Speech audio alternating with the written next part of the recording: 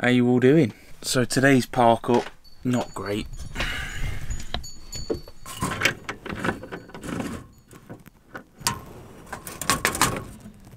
Yeah, I decided to stay here last night because I went on quite late, as you probably remember, and I couldn't be asked to move. However, the downside of that is I basically woke up with a broken back. So if I put the camera straight, it's kind of like that, which is not great for sleeping. right, priority for now, make the video.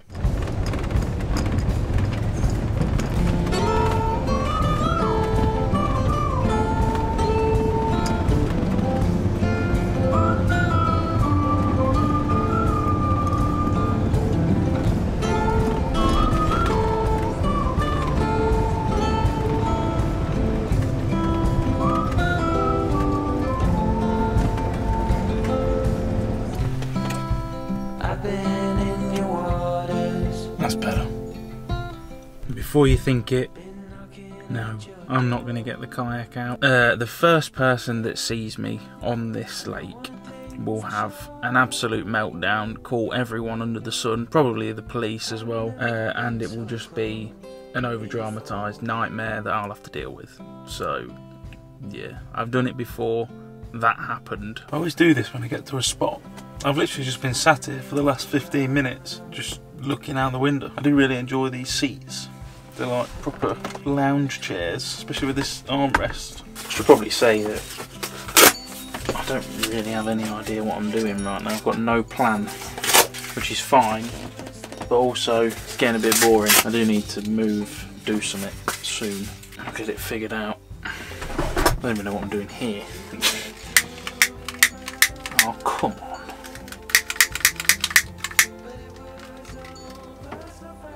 I've talked about most of the van stuff I want to talk about. There's a few more things. I do have something I want to talk about today. I've had quite a few questions about, so we'll cover that a little bit. Let's see if the uh, drone charger is going to work. I haven't tried it yet. Please work because I have no other ideas. Green. Oh yes. Oh no. Uh. Yeah, that's not working. I don't think. Anyone got any ideas? It seems to just be turning on and then going off. Anyone got any ideas on that? I plug it into mains and it works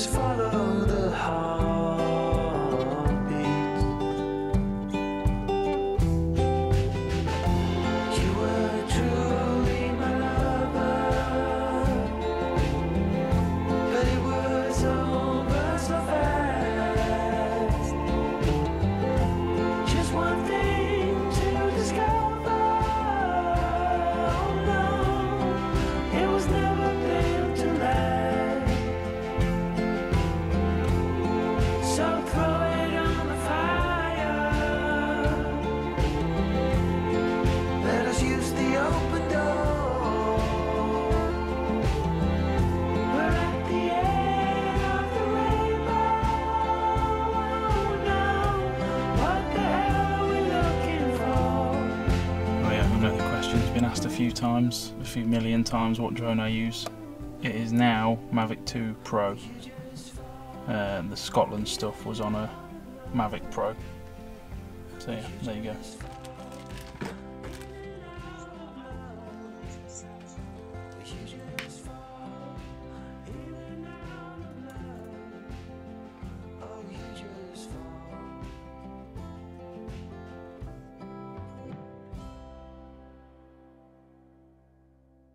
Right, folks.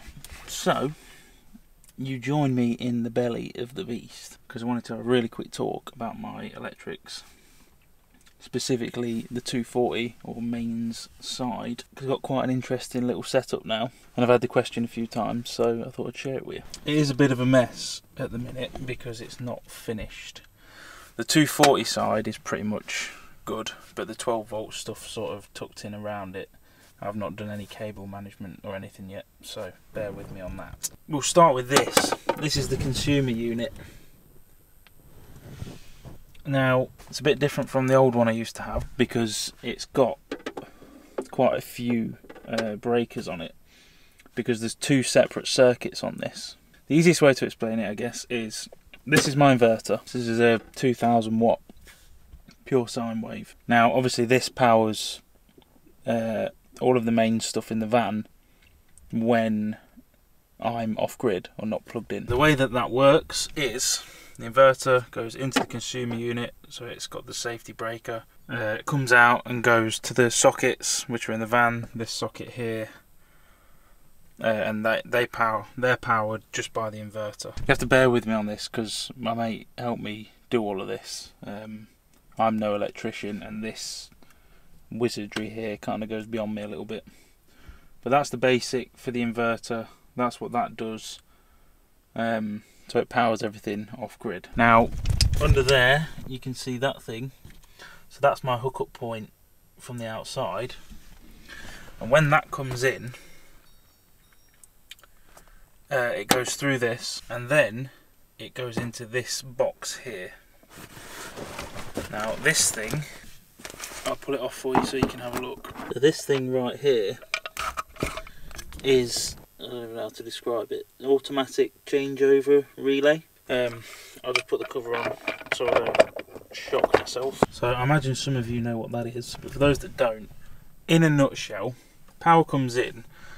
So this is all connected now, right? But the moment I plug in that uh, mains hookup, this thing here basically disconnects the inverter and throws everything onto a different circuit which is just powered off the mains.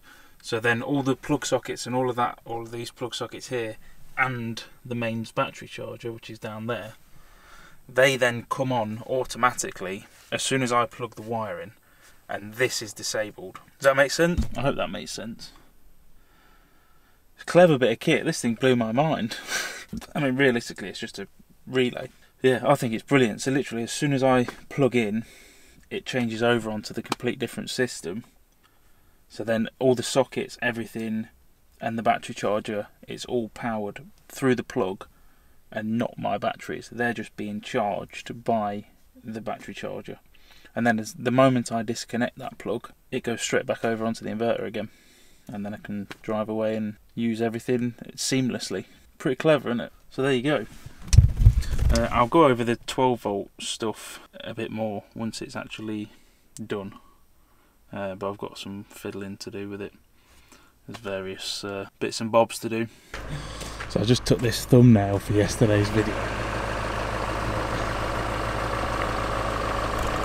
How mental does this one look now? Oh my god.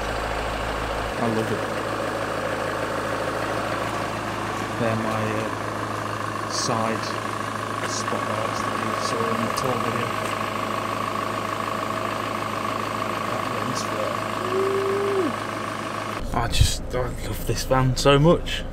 I really believe that with the self builds, why I love them so much. The van is like not necessarily a reflection of your personality, because uh, this one kind of makes me look like a murderer. But it's just a way, it's a, a means to express whatever you want.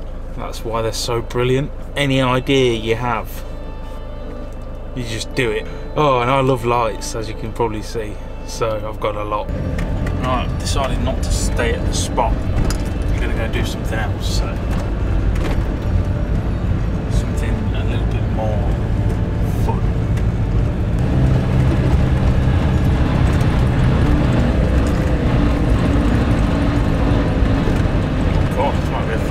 jump up